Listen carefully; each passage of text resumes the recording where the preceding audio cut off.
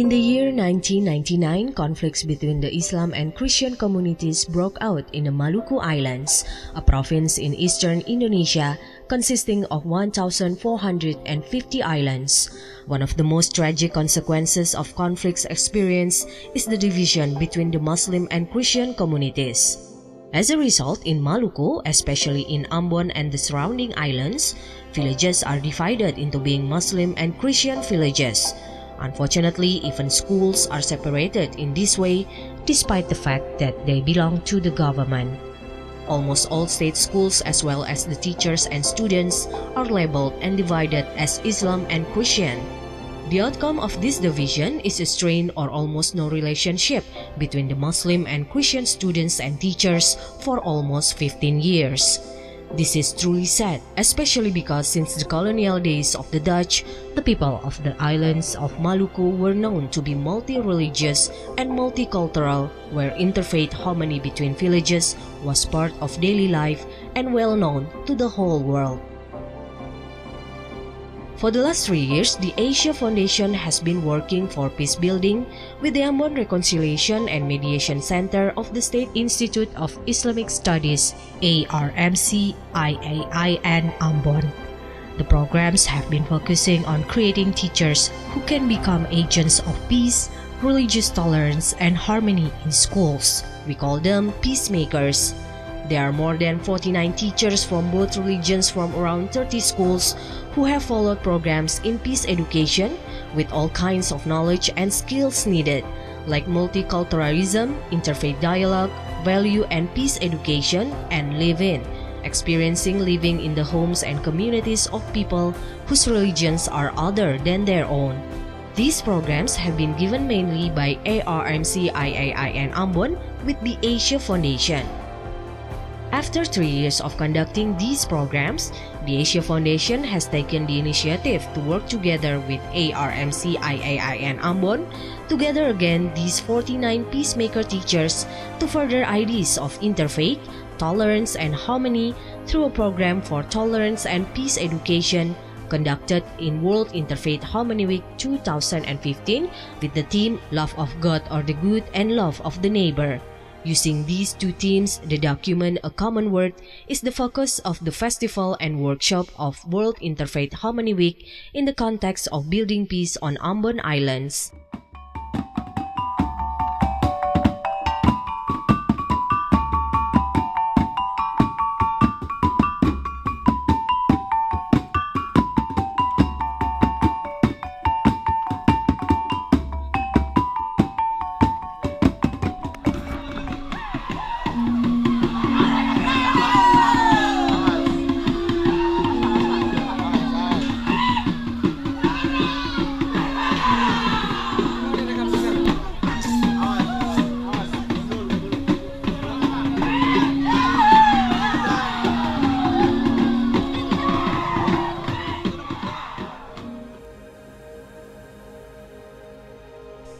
Marta Christina Tiahahu Interfaith and Harmony Festival. Marta Christina Tiahahu, 1800 to 1818, is the heroine of Ambon and the surrounding islands.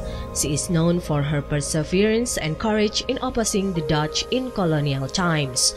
From her were born life values of the people of Maluku. The festival on 30 January to 1 February 2015 strengthened the values of peace and religious tolerance. It was held on the island of Nusa Laut Central Maluku, the place of Martha's birth. All the villages and interfaith communities on the island were involved, sharing and cooperating with one another in both ethnic and religious harmony with a common word perspective. This perspective of a common word ACW is very relevant in Maluku as the proportion of Muslim and Christian there are almost 50-50. This balance in population of Muslim and Christians makes the value of working together there very important, based on the common grounds of the two religions, Islam and Christianity. Because of this, the festival and workshop are designed using the perspective of ACW to build tolerance and peace among the participants.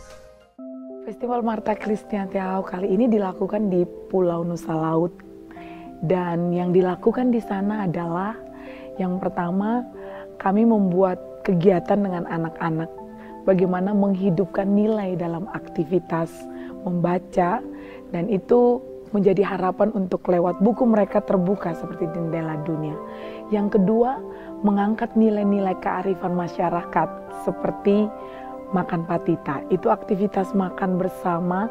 Di sini terlihat kebersamaan tanpa melihat perbedaan umur, agama, dari mana, semua bersama-sama dan mempunyai waktu untuk saling berbagi, baik cerita, baik pertemuan dalam suasana makan itu. Hal yang menarik lain adalah melakukan satu perjalanan dengan menggunakan obor. Dan obor itu menjadi lambang sebuah spirit bagi suatu kebangkitan semangat yang ada pada Marta Christina untuk membela kebenaran itu dilakukan dari negeri ke negeri sehingga terlihat ini menjadi satu kesatuan dari masyarakat untuk bersama-sama menciptakan sesuatu perubahan yang lebih baik yang dimulai dari beta, dimulai dari masyarakat itu sendiri. Stars, hide your fires. These here are my desires. And I will give them up to you this time around.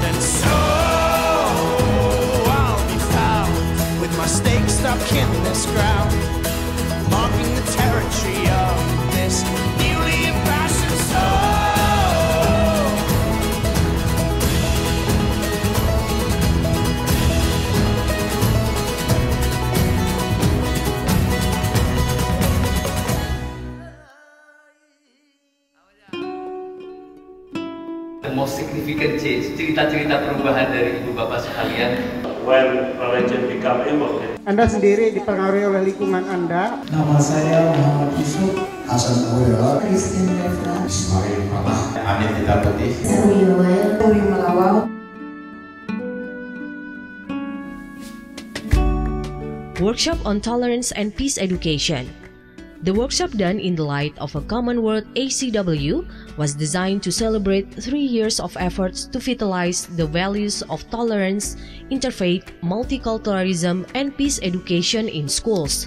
The workshop was for three days, Monday until Wednesday, 2 until 5 February 2015, at the Natsepa Hotel Ambon, a cool and beautiful place very suitable for sharing among peacemaker teachers. The workshop was inaugurated by Dr. Abidin Wakano, the head of the committee, and Dr. Hasbullah Toisuta, director of the Institute of Islamic Studies IAIN Ambon. Since 1999, both these figures have been involved in the peace building processes in Maluku. The keynote address was given by Professor Dr. Shamsul Arifin, the director of the Center for the Study of Religions and Multiculturalism PUSAM in the Muhammadiyah University Malang, East Java. Professor Samsul underlined the importance of rebuilding tolerance in the Indonesian context. He mentioned that the document A Common World is very relevant and important to develop in Indonesia, a plural society, especially on the islands of Ambon, whose Islam Christian composition is almost 50 50%. Ya, peserta kegiatan ini adalah para guru-guru. Kita berharap bahwa uh, ke depan guru-guru ini akan menjadi agen di sekolah masing-masing karena pendidikan adalah instrumen transformasi budaya sangat penting untuk membangun budaya damai di Maluku. Guru-guru yang ikut dalam acara ini berasal dari Muslim, Kristen, dan Katolik. Ini sangat penting karena memberikan kesempatan pada guru untuk berjumpa dengan yang berbeda. Melalui perjumpaan ini, mereka bisa mengalami perasaan positif, merasa aman, merasa dipahami, merasa bernilai. Dengan perasaan positif ini, mereka bisa merasakan betul perdamaian dari dalam diri mereka. Pendidikan multikultural itu sebenarnya bertolak dari setiap individu itu unik, di mana setiap orang itu mempunyai banyak lapisan, multiple layer, entah lapisan agama, lapis, lapisan etnis, lapisan bahasa, gender, geografi, ekonomi, sosial, dan seterusnya. Salah satu pendekatan yang uh, mungkin tepat itu adalah uh, semakin peserta didik mengenal pihak lain, maka semakin kecil terjadi prasangka. Strategi Bina Damai di Ambon ini sudah langsung uh, masuk kepada jantung persoalan karena menyentuh kepada pendidikan uh, generasi muda. Karena apa? Damai yang langgeng dan abadi hanya bisa uh, ditumbuhkan melalui proses pendidikan. Nah, yang menarik di Albon ini melalui berbagai inisiatif ini, ini justru tumbuh dari bawah, tumbuh dari guru, dari komunitas-komunitas, dari aktivis-aktivis. Harapan besar saya adalah inisiatif yang tumbuh dari bawah ini bisa kemudian menyebar, kemudian berkembang menjadi sebuah sistem The first session introduced the perspective of a common world to the participants. This was done by two interfaith activists, Dr. Gerardet Phillips and Dr. Budi Munawar Rahman. Gerardet Phillips is a Roman Catholic sister of the RSCG Order, a Vatican representative for interfaith dialogue in Indonesia, whereas Budi Munawar Rahman is a university lecturer, speaker, and writer on tolerance, pluralism, religious freedom, and human rights. Budi is now working also as a program officer for the Asia Foundation on the issue of minority rights and religious freedom in Indonesia. Saya pikir Commonwealth itu sangat relevan untuk dunia kita saat ini, sangat relevan.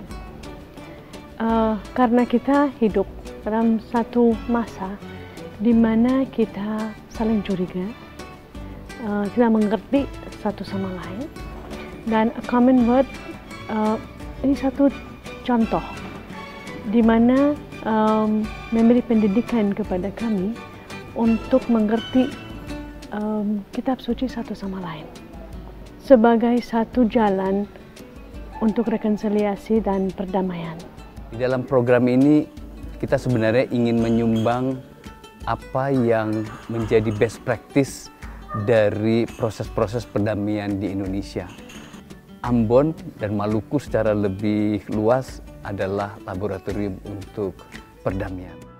Love of God or the good and love of the neighbor as the fundamental values for peace is the common ground for interreligious harmony in Indonesia, especially in Ambon.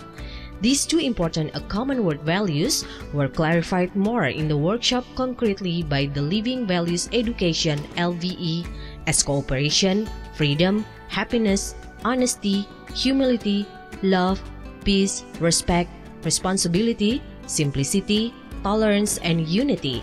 This was done in groups assisted by the LVE facilitators.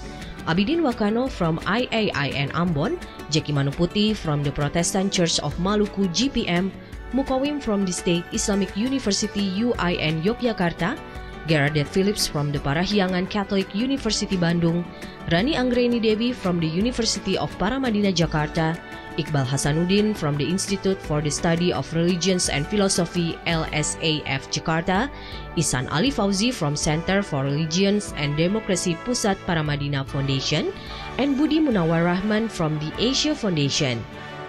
Sesungguhnya proses perdamaian telah mulai ketika konflik itu mulai, ya. Dalam klaster-klaster kecil awalnya, tetapi juga yang lalu dirajut menjadi sebuah anyaman perdamaian yang bergerak sejak uh, 99 sebenarnya. Menarik untuk dilihat adalah pendekatan berbasis civil society. Bagaimana masyarakat mengorganize dirinya dan mengupayakan bangunan perdamaian itu menjadi tegak. Ada dua wajah agama, ada ambivalensi dalam hubungan antara agama dan kekerasan dan perdamaian ya. Di satu segi agama sering kali menjadi simbol alat dari upaya-upaya orang yang ingin melakukan kekerasan, tetapi sebenarnya agama juga bisa menjadi sumber dari uh, nilai uh, aktivisme orang-orang yang ingin mendahulukan sisi perdamaian dalam agama gitu. Two documentary films, Provocator for Peace and The Imam and the Pastor, were used to help further discussion. Provocators for Peace is a documentary film made from the living experiences of the teacher participants. Some of the actors were present, where a Muslim teacher lived for two days in the home of a Christian family and vice versa. Uh, setelah kita berjumpa sesama guru, baik dari komunitas Muslim maupun dari komunitas uh, Kristen, uh, di situ ada satu titik perjumpaan yang luar biasa yang kita sendiri merasa rindu. Pada saat kegiatan terjadi perubahan yang luar biasa dalam diri kita. Yang tadinya ada sekat, ada pemisah antara satu dengan yang lain, kami jadi satu. Kami satu dalam hati dan kemudian terbitlah inisiatif bahwa jangan lagi kita berpisah. Dan ketika pertemuan pertama kali ada kecurigaan ya. Tetapi ketika kita mengikuti kegiatan ini selanjutnya, apalagi dengan kegiatan live in, kita eh, yang beragama Kristen harus tinggal di komunitas yang beragama Muslim, kita hidup bersama-sama berdampingan dengan mereka. Ada satu hal yang sangat luar biasa yang kita rasakan selama ini, bahwa hidup dalam kebersamaan itu indah. Karena saya tahu bahwa di Al-Quran maupun di Alkitab itu dibilang kalau hidup dalam kebersamaan di situ Allah memberikan berkat di situ pasti ada. The session Indonesia Without Discrimination was facilitated by Elza Peldi Taher and Anik Hate from Deni JA Foundation. The session connected the values already explored over the two days with a very important keyword in building peace, non-discrimination. Kamu mungkin berhasil menyebarkan teror, tapi kamu tak pernah bisa menghapus warna-warni Indonesia. Indonesia tanpa diskriminasi Indonesia tanpa Mindfulness for Peace At the beginning and the end of each day, workshop session called Visualizing a Peaceful World were facilitated by Sister Helen Kieran, Sister Gradette Phillips, Rani Anggreni Dewi, and Mukawim from the Association of Living Values Education Alive Indonesia. These two sessions use an inside-out approach to make our world a better world. With visualization, the participants created the peaceful world so desired, connecting again with their true inner selves. At the end of the program, they acknowledge that peace must always begin from ourselves and radiate out to those around, to family, society, our nation, and to the world. Meditasi menurut saya adalah uh, adalah masukin pikiran positif ke diri sendiri, renungan, komunikasi dengan diri sendiri, dan komunikasi dan renungan sama Tuhan, dan juga meditasi berarti menyebarkan energi positif ke dunia lingkungan dan untuk membuat orang yang resah dan tidak damai menjadi tenang. Takut dan benci. Ini dua perasaan yang paling kental dalam seseorang ketika dia mengalami peristiwa-peristiwa traumatis yang sifatnya kekerasan. Untuk mengatasi rasa takut ini, pertama dia diberikan pemahaman, yaitu melalui pendidikan intelektual pemahaman yang lebih komprehensif mengenai agama-agama. Jadi religious study itu penting sekali. Itu juga itu juga proses healing. Jadi diberikan misalnya orang Islam diberikan pemahaman mengenai agama Kristen apa. Interfaith and Harmony Art for Peace As a final closing event, around 200 students from the 20 Islamic and Christian schools of the teachers present at the workshop participated to make an art event called Interfaith and Harmony Art for Peace. This festival brought with it a twofold importance. First, it gave an opportunity for the teachers to put into practice their learnings of these days immediately after the workshop. And second, many Muslim and Christian school students came together for the first time since the conflict in 1999, when at the time many of them were infants and had felt directly the effect of the conflict and violence in their home and community. Their scared memories have begun a process of deep healing. Dari sejarah, kita belajar banyak. Sehebat apa pun diskriminasi dan kekerasan primordial, prinsip hak asasi manusia selalu menang. Mari bersama kita bermimpi dan terus berjuang bagi terwujudnya sebuah dunia tanpa diskriminasi.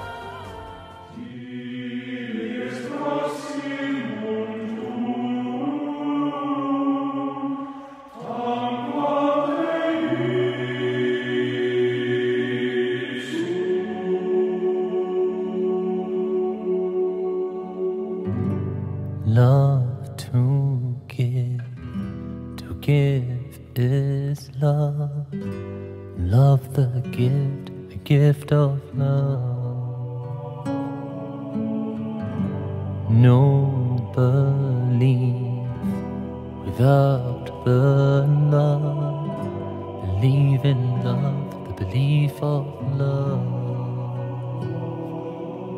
None of you truly believes until you love for your neighbor what you love for yourself. None of you truly believes until you love for your neighbor what you love for yourself. Love to give, to give is love. Love the gift, the gift of love. Nobody